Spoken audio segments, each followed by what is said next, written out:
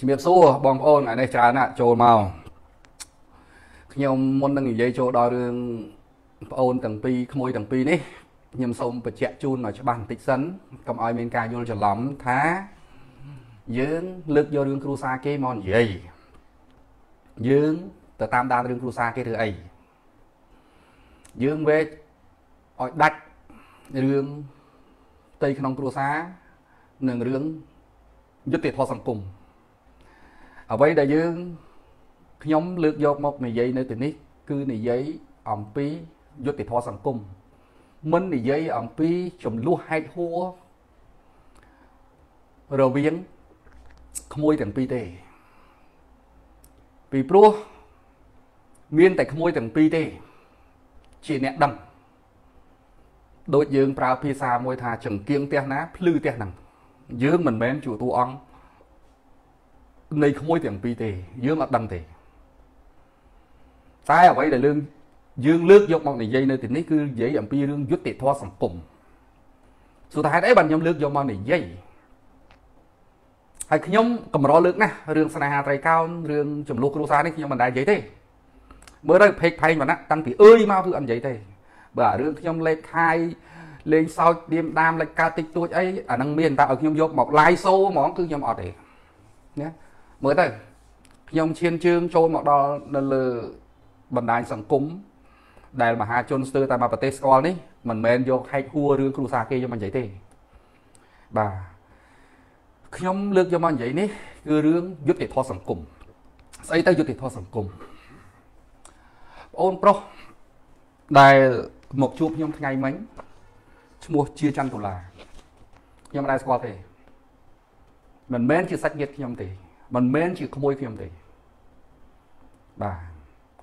ប៉ុន្តែបន្ទាប់ពីគាត់ជួបបញ្ហា ជាមួយនឹងមិត្តស្រីរបស់គាត់ខ្ញុំប្រើភាសាមិត្តស្រីបាទមិត្តស្រីរបស់គាត់ខ្ញុំគាត់រៀបរាប់ប្រាប់ថាគាត់มันអាចមានលទ្ធភាពតតាំងផ្លូវច្បាប់ជាមួយគេបានទេ ដោយសារតែបុគ្គលទី3ណាបុគ្គលទី3ដែលយើងដឹងគ្រប់គ្នាថាជាគ្រូជោគជ័យណាម្នាក់នោះខ្ញុំមិននិយាយឈ្មោះទេខ្ញុំនិយាយអញ្ចឹងទៅចុះបងប្អូនដឹងហ៎គាត់បានធ្វើការគម្រាមកំហែងគាត់បានលើកយកឈ្មោះស្ថាប័នជាតិធំធំយកមកបំភ័យហើយអ្វីដែលគាត់បានលើកឡើង ហើយនឹងទស្សនវិជ្ជាជាក់ស្ដែងវាឃើញទៅអញ្ចឹងមែនមានន័យថាម្សិលមិញយើងឃើញគេខាត់គាត់យកគាត់ទៅតុលាការក្រោយមកតុលាការក៏ដោះលែងចេញទៅវិញអញ្ចឹងយើងមើលអ្វីដែលគាត់ឆាតដែលត្រូវបែកធ្លាយជាសាធារណៈនោះអ្វីដែលចង់និយាយថាអ្វីដែលគាត់បានអួតអាងនោះហើយនឹងសកម្មភាពជាក់ស្ដែងវាឃើញអញ្ចឹងមែនដល់ឃើញអញ្ចឹងមែនបងអូនក្មួយជាច័ន្ទដុល្លារនេះគាត់ព្រួយគាត់បារម្ភគាត់ភ័យគាត់ថាបើសិនជាបែបនេះ យុទ្ធធរសម្រាប់រូបគាត់ហាក់ដូចជានៅឆ្ងាយដូចជាងមេឃអញ្ចឹងគាត់រកអ្នកណាដើម្បីជួយគាត់មករកខ្ញុំក៏ខ្ញុំជួយអត់បានដែរខ្ញុំមិនមែនជាសមត្ថកិច្ចខ្ញុំមិនមែនជារាជការខ្ញុំមិនមែនជាតុលាការខ្ញុំគ្រាន់តែជាអ្នកសារព័ត៌មានម្នាក់អាចជួយផ្សាយឲ្យបាន អាចជួយសំណុំពរឲ្យបាន អាចជួយបង្ហាញផ្លូវខ្លះខ្លះដើម្បីការពារខ្លួនដើម្បីទៅរក អ្នកដែលមានការពាក់ព័ន្ធដើម្បីពឹងពាក់ទៅតែឲ្យមកពឹងពាក់ខ្ញុំខ្ញុំអត់ដឹងជួយមិនទេខ្ញុំអត់ខ្ញុំជួយអត់បានទេខ្ញុំបានត្រឹមតែមកជួយផ្សាយឲ្យបានសនំពោទៅបានតែប៉ុណ្្នឹងទេឲ្យខ្ញុំឲ្យខ្ញុំទៅលូករឿងអូក្មួយទាំងពីរហ្នឹងគឺខ្ញុំអត់លូកទេហើយខ្ញុំមួយទៀតអត់និយាយថាក្មួយស្រីប្រុសក្មួយស្រីខុសក្មួយប្រុសត្រូវ ក្មួយប្រុសខុសក្មួយស្រីត្រូវខ្ញុំមិននិយាយទៀតខ្ញុំមិននិយាយទេតិចទៀតខ្ញុំនិយាយដល់គឺដោយសារតែអំនួតក្អេងក្អាងរបស់គាត់នេះនេះអានេះសារអានេះអានេះឯកសារទេឯកសារអានេះអានេះសារឆ្លើយឆ្លងគាត់និយាយអីគាត់និយាយអីហ្នឹងណាគាត់និយាយច្រើនណាស់នៅក្នុងនេះ បាទគាត់និយាយច្រើនអានេះឯកសាររបស់គ្រូជោគជ័យបាទអញ្ចឹងអំណួតរបស់គាត់យកថ្នាក់លើ នៅសាលារាជធានីភ្នំពេញក្រសួងមហាផ្ទៃក្រសួងយុទ្ធភ័ពពន្ធនាគារសិទ្ធិបពពួកយើងហើយសិទ្ធិថាអប្តឹងខាងប្រុសវិញឲ្យជាប់គុក5ឆ្នាំអីចេះចុះគាត់កំណត់ឲ្យស្រេចគាត់កំណត់មុនចៅក្រមមុនព្រះអាញាចោលទៀតអញ្ចឹងគ្នាភ័យក្មួយប្រុស ដុល្លារភ័យបានរត់មករកខ្ញុំហ្នឹង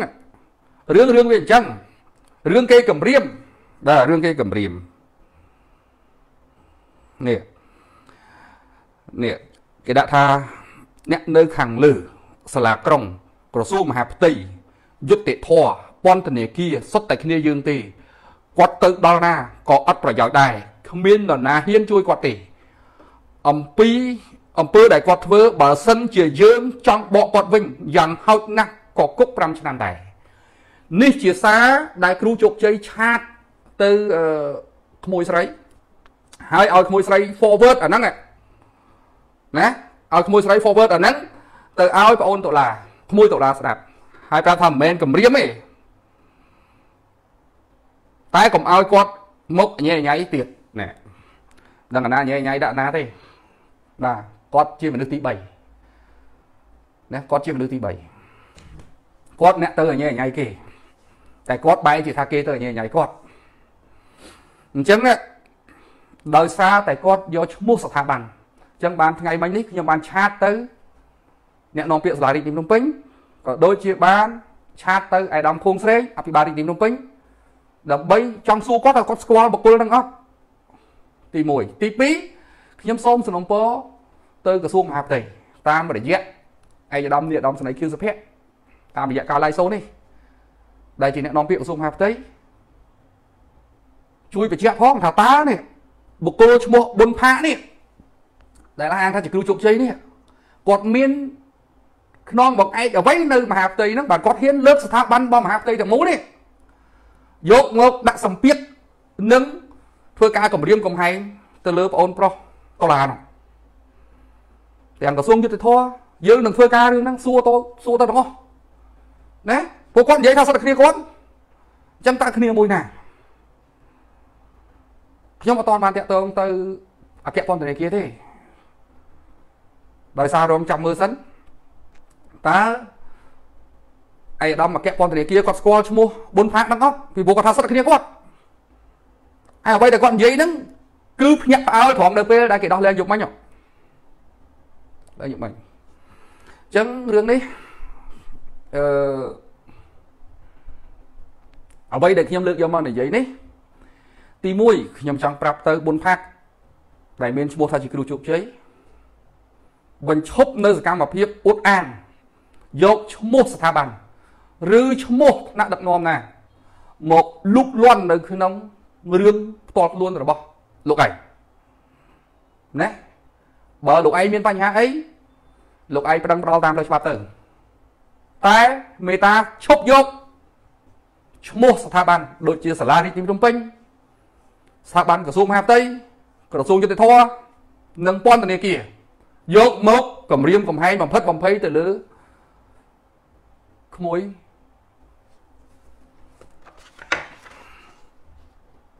ជាចាំដុល្លារណាបងឯងធ្វើអត់ត្រូវទេ គឺខុសខ្ញុំនិយាយថាធ្វើមិនត្រូវទេប្រទេសមានច្បាប់បើបងឯងគិតថា ជាចាំដុល្លារនេះ ប្រព្រឹត្តអ្វីខុសច្បាប់បងឯងរមេធាវីឬបងឯងប្តឹងទៅតែបងឯងមិនអាចណាយកឈ្មោះស្ថាប័នទៅគម្រាមកំហែងគេទេណាឥឡូវអ្នកណាហ៊ានចេញមុខការពារបងឯង អ្នកណាចេញមកបងឯងធ្វើត្រឹមត្រូវគេការពារបងឯងធ្វើអត់ត្រឹមត្រូវគ្មានណាគេការពារគ្មានណាគេគ្រប់គ្រងបងឯងទេអូនឯងអាងណាអាងបងអង្គញាយូសមេតហ៎ហ៎ឮថាបងឯងគ្រូកូនសិស្សរបស់បងអង្គញាយូសមេតបងអង្គញាយូសមេតគាត់ទេមកខ្ញុំគាត់ឆាតមកខ្ញុំដែរគាត់មិនឆាតមកអីធុនធ្ងរទេគាត់ថាឲ្យនិយាយបើឲ្យខ្ញុំនិយាយឲ្យសម្ភារទាំងអស់គ្នា ហើយគាត់មិនយល់ថាខ្ញុំនិយាយពីអីផងគាត់ចង់ឲ្យខ្ញុំនិយាយសម្ភាសសម្ភាសទាំងអស់គ្នានិយាយចេះទៅខ្ញុំអត់សម្ភាសទេខ្ញុំមិនចង់ដឹងរឿងគ្រួសារគេទេអ្វីដែលខ្ញុំលើកយកមកនិយាយនៅយប់នេះខ្ញុំចង់ផ្ដាំទៅគ្រូជោគជ័យនេះស្អីបុណ្យស្អីនេះណាបុណ្យផាកនេះបញ្ឈប់ការយកឈ្មោះស្ថាប័នជាតិទៅបំផិតបំភ័យដៃគូទំនាស់ដៃគូចំនួន បងឯងមានរឿងអីបងឯងឲ្យច្បាប់គេធ្វើការទៅធ្វើការទៅបាទហើយបងយូសមេតបងញ៉ាយូសមេតគាត់ទេរបស់ខ្ញុំតាគាត់ឆាតរបស់ខ្ញុំតាខ្ញុំបានប្រាប់គាត់បងបើបងការពារមនុស្សហ្នឹងបងឯងឈប់រកអានខ្ញុំខ្ញុំ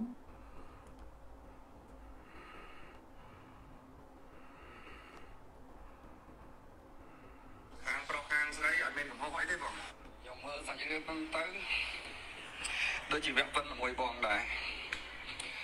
ឃើញថ្មីនឹងបាញ់លុយ5000ទៅឲ្យបងពេលដែលវាតំណតំណងដូចលាក់តាក់តងគ្នាយកឡានទៅ5 10ថ្ងៃតាមក៏ពិតខ្ញុំសោកស្ដាយមានមនុស្សចឹងអញ្ចឹងទៅបំផ្លាញសុភមង្គលគេហើយចង់បានទ្រព្យគេគ្មានការហ៊ានខ្មាស់ បងឯងគួរតែអប់រំវាកុំឲ្យវាធ្វើចឹងខ្ញុំខ្មាស់គេហើយបើបងឯងមានមនុស្សចឹងចឹងនៅជុំវិញខ្លួននិយាយប្រាប់បងឯងត្រង់មកមកមិនបាច់អបអានខ្ញុំទេខ្ញុំខ្ជិលសុំទោសបងឯងមកមែនតាខ្ញុំឃើញវាធ្វើបាបកូនក្មេងម្នាក់តែគ្មានស្អីតតាំងហើយដំបូងខ្ញុំលើកខ្សែអង្ញាអង្ញាស្មានដល់ណាដល់ពេលឥឡូវខ្ញុំឆែកមើលព័ត៌មានទាំងអស់សារដែលគេផ្ញើមកទាំងសំឡេងទាំងវីដេអូ មានឈ្មោះបងមានអីដែរនៅក្នុងហ្នឹងនេះសារខ្ញុំប្រាប់ទៅបងអុកញ៉ាយូសមេតខ្ញុំថាឲ្យគាត់អប់រំកូនសិស្សគាត់កុំឲ្យធ្វើអញ្ចឹង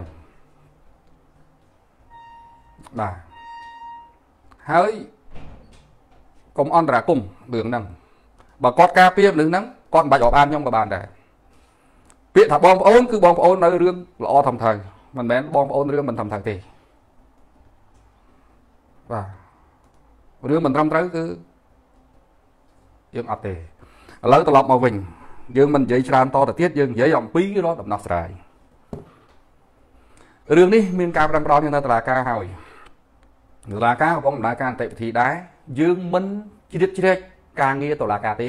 យើងមិននិយាយអំពីអង្គហេតុនៅតុលាការទេយើងអត់ប៉ះពាល់ទាំងអស់តែខ្ញុំសូមសំណពរនៅទីនេះសម្រាប់ក្មួយក្មួយទាំងពីរ ឥឡូវនេះម៉ោងនេះខ្ញុំផាត់នៅទី3ចេញហើយខ្ញុំនិយាយរឿងក្មួយទាំងពីរចូលដល់តួអង្គក្មួយទាំងពីរក្មួយជាចន្ទដុល្លារនិងក្មួយសៀនធីរីក្មួយទាំងពីរបើក្មួយអស់និស័យជាមួយគ្នា ជាពិសេសក្មួយសៀនធីរី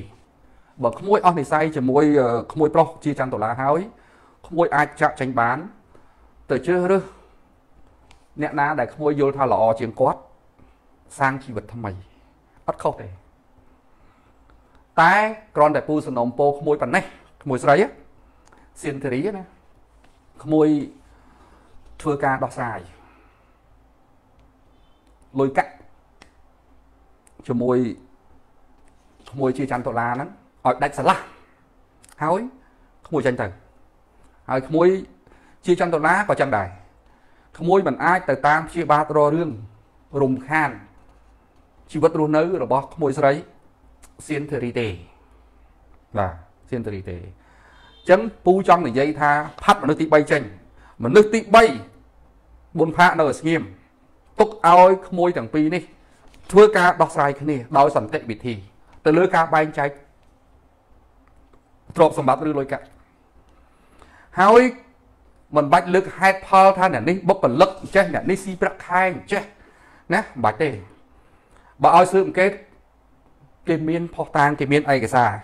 បាទសំបីតែនៅក្នុងកិច្ចសន្យាជួលក៏គេដាក់ភរិយាដែរវាថ្មីត្បិតតែគ្មានអេតាស៊ីវិលតែយើងមិនបាច់និយាយទេអានោះមិនបាច់និយាយទេបាទពីព្រោះមិនមែនជាបុគ្គលិកមិនមែនជាអីទេពីព្រោះយើងជាមនុស្សពីរនាក់ដែលស្រឡាញ់គ្នាដូចប្តីប្រពន្ធ មិនមែនជាមិត្តភ័ក្តិមិនមែនជាបុគ្គលិកពិសេសទេបាទអញ្ចឹងការរស់ស៊ីមានតែក្មួយពីរនាក់ទេដឹងសំបីតែខ្ញុំនេះពូនេះក៏ដឹងដែរតែដឹងតែក្មួយពីរនាក់រស់ស៊ីជាមួយគ្នា ទៅថៃទៅអីណាហើយមិនបាច់និយាយរឿងផ្លូវច្បាប់ទេក្មួយយកមโนសញ្ចេតនារវាងក្មួយទាំងពីរដែលធ្លាប់ស្គាល់គ្នា4 5ឆ្នាំហ្នឹង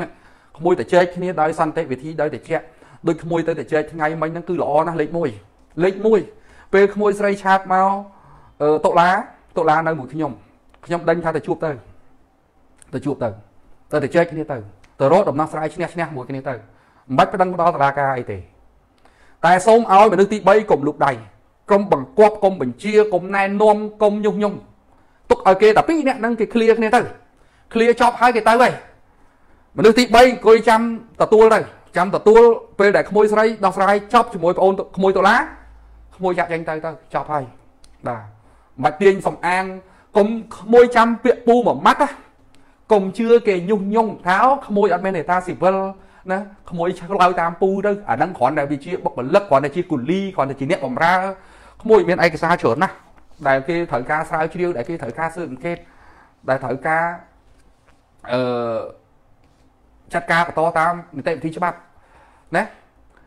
ហើយរឿងបែកធ្លាយប៉ុណ្ណេះហើយគ្មាននរណាមកអន្តរាគមជួយរឿងថាក្មួយត្រូវតែឈ្នះដាច់អីចេះចុះក្មួយកុំជឿគេក្មួយយកមនោសញ្ចេតនាដែលក្មួយមានជាមួយតុលា4 5ឆ្នាំហ្នឹងដោះស្រាយគ្នាស្ងាត់ស្ងាត់ទៅបើចប់ស្ងាត់ស្ងាត់ទៅរឿងគ្រប់យ៉ាងវានឹងចប់បាទក្មួយនឹងคลายទៅជាមនុស្សស្រីល្អម្នាក់ដែលសង្គមទទួលស្គាល់វិញតែបើក្មួយមិនស្ដាប់បែរជាក្មួយជឿតាមមនុស្សទី3ញុះញង់ ចង្អុលបង្ហាញធ្វើដូចដែលផុសតាងឃ្លាចេញមកក្រៅអញ្ចឹងអាក្រក់មើលណាក្មួយក្មួយតំស្គាល់គេ2 3ខែមិនតបដឹងថាគេល្អយ៉ាងម៉េចទេក្មួយត្រូវមើលអា4 5ឆ្នាំនៅជាមួយគ្នាទោះបីក្មួយអស់មនោសញ្ចេតនាយ៉ាងហោចណាស់ក៏ក្មួយគិតពីអតីតកាលដែលក្មួយខំធ្វើការជាមួយគ្នារហូតដល់ក្មួយមានលុយរាប់សែននៅក្នុងដៃបាទបាទអញ្ចឹង ក្មួយពូសនំពតែប៉ុណ្្នឹងទេក្មួយទាំងពីរជួបគ្នាដោះស្រាយទៅស្ងាត់ស្ងាត់ទៅក្មួយដោះស្រាយចប់ក្មួយនឹងคล้ายទៅជាមនុស្សដែលសង្គមទទួលស្គាល់តែបើក្មួយទៅតោងមនុស្សទី3ឲ្យមនុស្សទី3បង្កប់បញ្ជាក្មួយក្មួយធ្វើតាមគេអានឹងគ្រោះថ្នាក់ក្មួយត្រូវរកមនុស្សកណ្ដាលណាម្នាក់ដែលគេយុត្តិធម៌គេមិនមើលឃើញប្រយោជន៍ពីក្មួយគេយកបេះដូងទៅដោះស្រាយឲ្យក្មួយអាហ្នឹងគឺក្មួយជោគជ័យហើយតែបើក្មួយទៅជឿគេថាអូអាហ្នឹងមិនមែនប្តីប្រពន្ធទេអាហ្នឹង គ្រាន់តែជាកលីអត់មានទេក្មួយ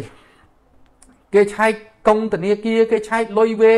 នៅថៃនៅអីគេប្រមូលសាកសីគេប្រមូលមកអីហើយសំបីតែនៅក្នុងកុងត្រាជួលក៏គេដាក់ប្រពន្ធដែរបាទនេះភរិយានេះបាទកុងត្រាជួលលើកទី2នេះសៀនធារីអីនេះបាទកុងត្រារស់ស៊ីមួយគ្នានេះម្ចាស់ផ្ទះជួលឲ្យយើងពីរនាក់ហ្នឹងដូចប្តីប្រពន្ធហ្នឹងក៏ប៉ុន្តែយើងកុំនិយាយរឿងហ្នឹងយើងធីបវាចោលនិយាយតែពីមនោសញ្ចេតនាដែលក្មួយមាន និយាយអស់ទៅពូកំពុងនិយាយនេះដូចពូផ្ដល់មតិយោបល់ឲ្យក្មួយបញ្ចប់បញ្ហាមួយគ្នាទៅគ្មាននរណាពេទ្យជ្រេក្មួយទេតែបើក្មួយជឿមនុស្សទី3ហើយក្មួយធ្វើបាបដុល្លារក្មួយមិនអាចទប់ចរន្តនៃការថ្កោលទោសឬក៏ដាក់បដាសាបានទេមើលក្មួយមើលឃើញប្រហែលថ្ងៃហ្នឹងគេប្រមាថក្មួយយ៉ាងម៉េចគេឈ្មោះក្មួយយ៉ាងម៉េចតែបើក្មួយណែម្ចាស់ការដោះស្រាយខ្លួនឯងបានល្អជាមួយតុលាតុលាក៏សប្បាយចិត្តទទួលហើយក៏សប្បាយចិត្តនៅពេលក្មួយចេញទៅដែរ អត់មានតំណោះអត់មានកំណុំអីមួយគ្នាទេក្មួយអស់និស័យមួយគាត់គាត់ស្ដាយមួយទៅហើយដល់ដល់ពេលក្មួយជឿគេទៅយកលុយយកកាក់បវលទៅទាំងអស់ឲ្យគាត់នៅតែសបកខ្លួនអាហ្នឹងវាធ្វើបាបគាត់ពីរតង់អញ្ចឹងមនុស្សដែលស្រឡាញ់គ្នាហើយធ្វើបាបគ្នាដល់ថ្នាក់ហ្នឹងតើក្មួយទៅនៅជាមួយអ្នកនោះបាទយ៉ាងម៉េចមកនៅយ៉ាងម៉េចបាទក្មួយតាមស្គាល់គេ3ខែទេតាមរឿងដឹងបាទអញ្ចឹងក្មួយត្រូវគិតអំពីកិច្ចខិតខំប្រឹងប្រែងតែគេតស៊ូជាមួយក្មួយណាក្មួយផាត់មនុស្សទីផាត់មនុស្សខាងក្រៅចេញក្មួយទៅចែកគ្នាស្ងាត់ស្ងាត់ពូសบายចិត្តឃើញក្មួយទៅទៅចែកគ្នានៅមានឯករាជ្យថ្ងៃមិញនេះគឺល្អលេខ1ហើយបាទបើក្មួយធ្វើតាមពូក្មួយនឹងមានកិត្តិយសគ្មាននរណាថ្កោលទោសក្មួយគ្មាននរណាជេរក្មួយទេតែបើក្មួយធ្វើតាមមនុស្សញុះញង់ណាបញ្ជាឲ្យក្មួយធ្វើរឿងខុស ក្មួយនឹងទទួលក្តីអាម៉ាស់មកជីវិតបាទនេះគ្រាន់តែពូផ្ដាំប៉ុណ្ណឹងពូអត់និយាយថារឿងក្មួយខុសថាក្មួយស្អីទៀតទេពូបញ្ចប់ហើយឡើងនិយាយពាក់ព័ន្ធមួយក្មួយទាំងពីរហើយធ្វើម៉េចឲ្យក្មួយទាំងពីរដោះស្រាយគ្នាទៅសម្រោះសម្រួលគ្នាទៅបាទហើយមនុស្សទី3ក៏ចឹងដែរកកុំលុបដៃជ្រិតជ្រែករឿងគេទុកឲ្យគេដោះស្រាយរឿងនេះគេទៅចាំគេដោះចាប់ ចប់ឃ្លាចប់ឯងធ្វើអីធ្វើទៅទៅទៅទៅនេះខ្ញុំនិយាយយប់ហ្នឹងគឺនិយាយរឿងអស់ហ្នឹង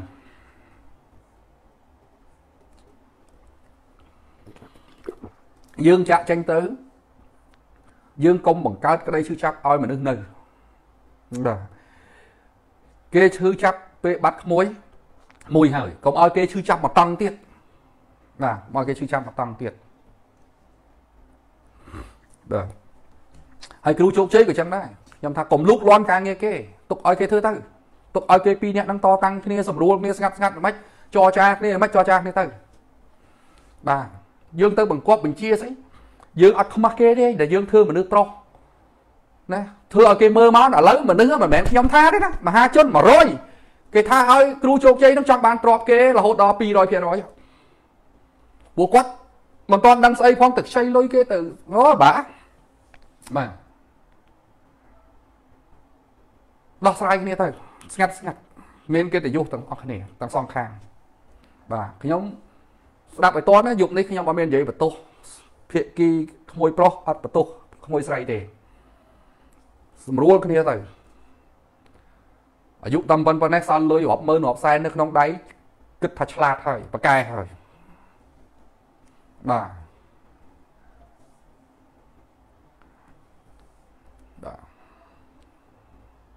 ហើយខ្ញុំនឹងតាមដានមើលរឿងហ្នឹង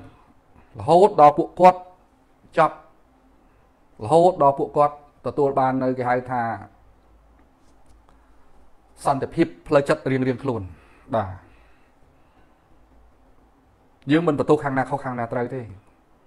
ក្នុងការឡាយយុគនេះយើងសង្កត់ធ្ងន់ទៅមនុស្សទី3កុំជ្រួតជ្រែកកុំលូកដៃបាទលូកយកស្អីយកទៅតែកុំប៉ះពាល់រឿងទ្រព្យរបស់គេ ទុកឲ្យគេដោះស្រាយគ្នាគេ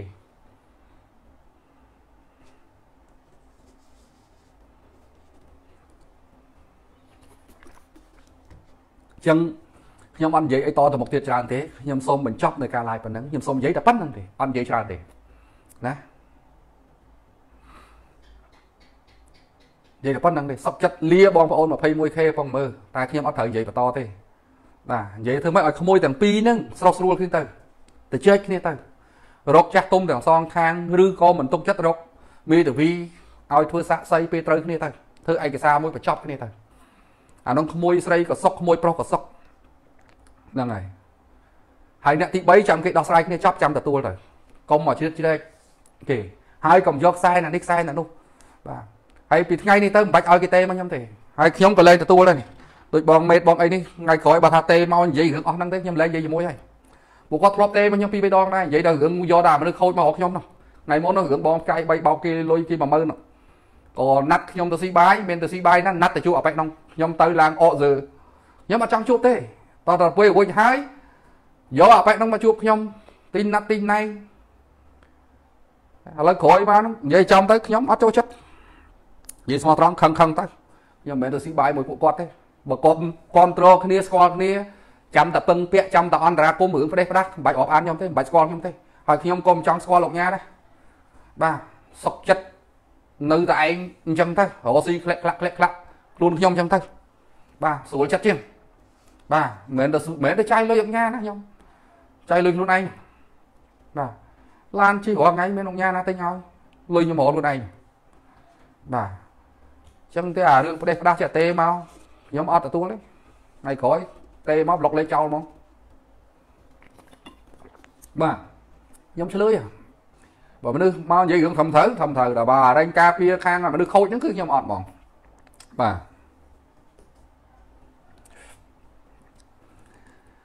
ចឹងយប់នេះយើងសូមបញ្ចប់នៅការ live ប៉ុណ្ណេះហើយសូមអរគុណបងប្អូនទាំងអស់គ្នា ដែលបានចូលមកអឺតាមដាននៅរឿងនេះ ហើយជូនពរឲ្យក្មួយទាំងពីរដោះស្រាយគ្នាចប់ឆាប់ឆាប់ទៅចុះបាទសូមអរគុណសូមជម្រាបលា